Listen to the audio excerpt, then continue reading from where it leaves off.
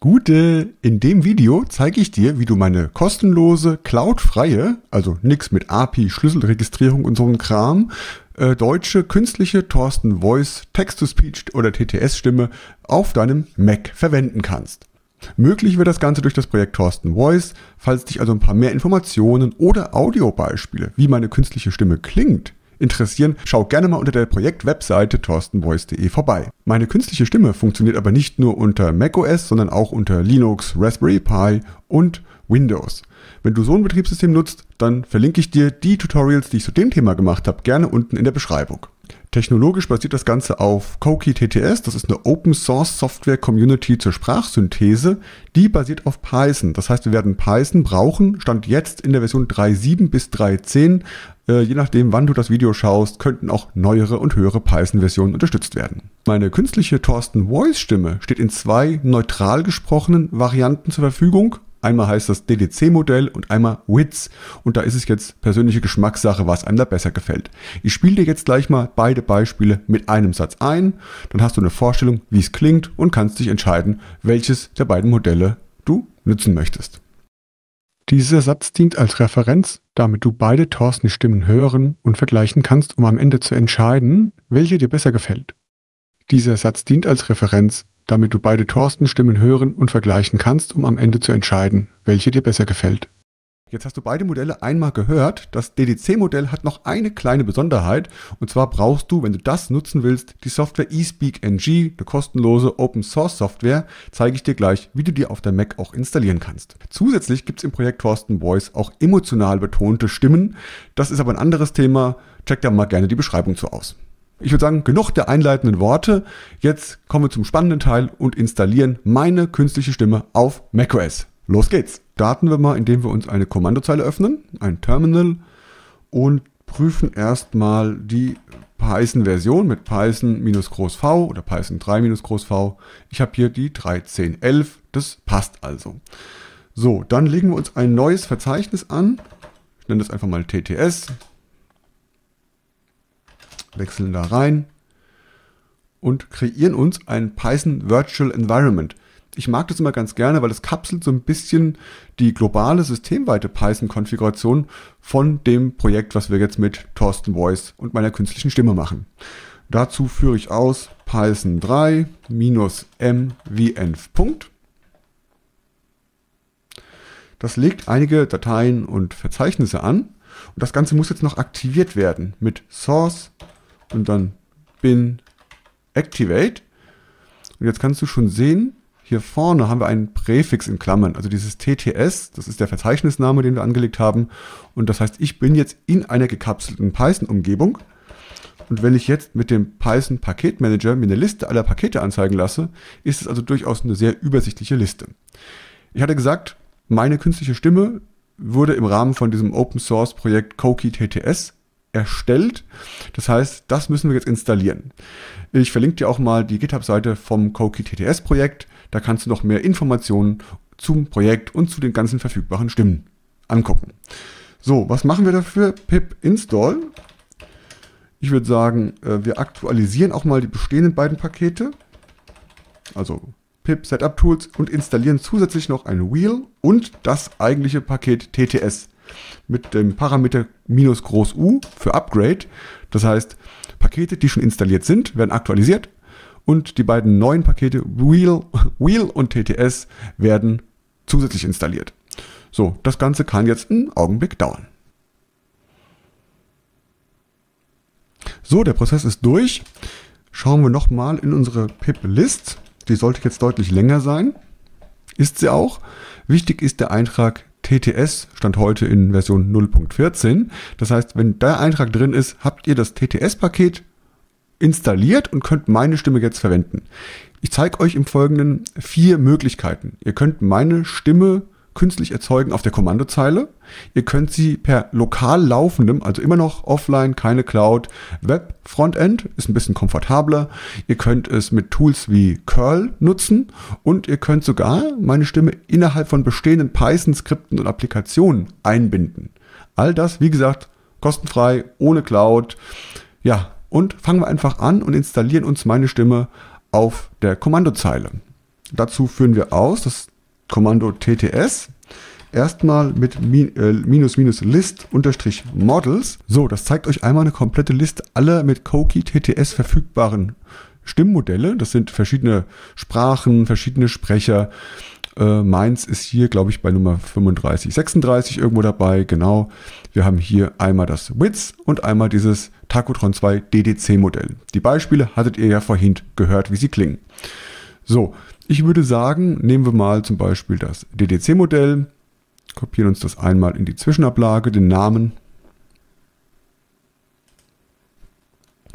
und erzeugen uns auf Basis dessen eine künstliche Stimmausgabe. Ich hatte es angedeutet vorhin, für das DDC-Modell brauchen wir noch die Software eSpeak NG. Wenn ihr die noch nicht installiert habt, kommen wir gleich dazu. So, aber jetzt erstmal TTS eingeben, dann, was brauchen wir? Den Namen des Modells, Model-Name das wäre jetzt der eben kopierte Name. Dann brauchen wir den Text natürlich. Text, das ist ein Test. Welchen Testsatz könnte man sonst nehmen? Und wir müssen sagen, als welche Datei wir das ganze Ergebnis speichern wollen. Das machen wir mit minus minus out pass und nennen das mal test1.wav. So, und das führen wir jetzt mal aus. Im ersten Schritt wird jetzt mein Modell runtergeladen. Das ist eine einmalige Geschichte, wird dann auf einem lokalen Rechner gespeichert und beim nächsten Mal ist da kein Download mehr nötig von dem Modell. So, bei mir kam jetzt kein Hinweis auf eSpeakNG, weil ich hatte das schon installiert. Ihr könnt das dann auch mit Werkzeugen wie Homebrew installieren. Ich packe wieder einen Link, wie das genau funktioniert, in die Beschreibung. So, am Endeffekt habt ihr dann hier das Ergebnis gespeichert als entsprechende Test1.wav. Und dann hören wir uns die Test1.wav einfach mal an. Das ist ein Test. Und das war schon der erste Weg, meine Stimme zu erzeugen über die Kommandozeile. Der zweite Weg ist ein bisschen komfortabler über einen lokal laufenden Webserver-Prozess. Dazu können wir im Prinzip das Kommando von eben nochmal verwenden, müssen nur ein paar Sachen entfernen. Und zwar den Ausgabepfad brauchen wir nicht mehr, den Text brauchen wir nicht mehr, sondern wir brauchen nur das Modell. Und statt dem Kommando TTS nehmen wir das Kommando tts-server. Wenn ihr das seht, wurde auf dem lokalen Rechner auf Port 5002 ein lokaler Webserverprozess gestartet. Den kann man jetzt per Browser aufrufen. Einfach localhost Doppelpunkt 5002 eingeben. Und da ist die Oberfläche simpel gemacht, hat ein Eingabefeld. Hier könnt ihr jetzt den Text eingeben, der gesprochen werden soll mit meiner Stimme. Heute scheint die Sonne. Zum Beispiel. Und dann Speak. Heute scheint die Sonne. Wie ihr seht, wird gleich direkt gesprochen. Ihr könnt auch äh, das Audio einfach äh, speichern, zum Beispiel Audio speichern unter und könnt das einfach als Test 2 WAF zum Beispiel abspeichern. Genau. Und das ist der zweite Weg. Einfach manuell über diese kleine Web-Oberfläche den Text sprechen zu lassen. Wo wir jetzt hier schon diesen Serverprozess am Laufen haben, den kann man noch verwenden, um jetzt beispielsweise, ihr habt den auf einem Server bei euch im Heimnetzwerk laufen, auf einem Raspberry Pi oder was auch immer und wollt aber jetzt von einem anderen System Stimme erzeugen. Da kann man das mit Tools wie Curl machen. Und wie das geht, das machen wir ganz einfach. Wir machen mal ein zweites Fenster auf. Ich schiebe das mal so ein bisschen an die Seite. Und dazu gibt es auch auf der Thorsten Voice Projekt Webseite ein Beispiel. Gucken wir da mal kurz drauf. Unter TTS und ein bisschen weiter runter. Dann haben wir ein Beispiel für den Curl-Aufruf. Den kopiere ich mir hier einmal raus. Kopieren. Dann kopiere ich mir jetzt einfach mal das Beispiel von der Thorsten Voice Projekt Website hier rein. Sicherheitshalber setze ich den, äh, die URL mit Localhost und dem Text in ähm, Gänsefüßchen, weil manchmal ist er da mit dem übergebenen Text und Escapen von irgendwelchen Sonderzeichen etwas empfindlich. So, aber wenn es gut funktioniert, sollte jetzt der Text Hallo gesprochen werden und gespeichert in der Ausgabe WAV-Datei im aktuellen Verzeichnis. So, Das sieht erstmal erfolgreich aus. Man sieht auch im Hintergrund hier auf dem Serverprozess, dass der Text Hallo angekommen ist und erzeugt wurde. So, dann schauen wir einmal auf, unsere, auf unser Verzeichnis. Und hier sehen wir jetzt auch zu unserer Test 1 WAF die Ausgabe WAF. Können wir uns auch kurz anhören. Das kurze Hallo. Hallo. Ja, erwartungsgemäß funktioniert. Gut, das heißt, jetzt kommen wir schon zum letzten Teil. Jetzt gucken wir, wie wir meine Stimme erzeugen können in einem bestehenden Python-Programm. Ganz kurz noch die Bitte, falls dir das Video gefällt, freue ich mich mega über einen Daumen hoch, über ein Abo auf dem Kanal, über ein Feedback in den Kommentaren. Das wäre echt super nett. Also vielen Dank schon mal dafür. Bevor wir in die Entwicklungsumgebung reingehen, ich nutze übrigens Visual Studio Code, aber jeder andere ist da genauso gut.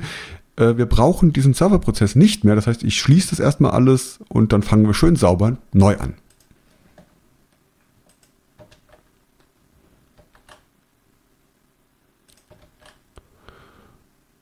So, dann öffne ich meine Entwicklungsumgebung und wir gucken uns das an, wie das funktioniert.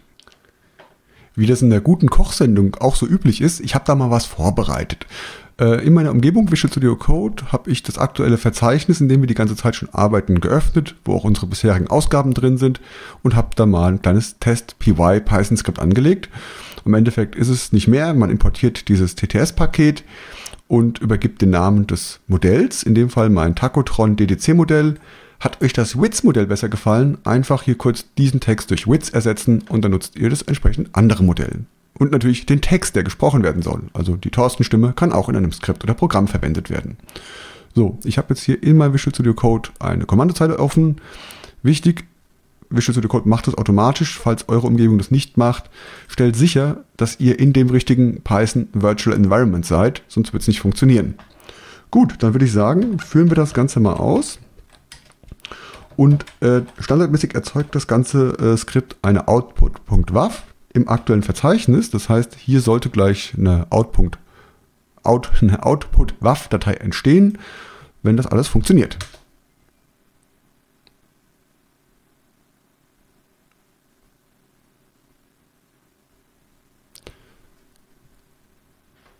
Und da ist er auch schon, Output WAF, und die hören wir uns einfach mal an.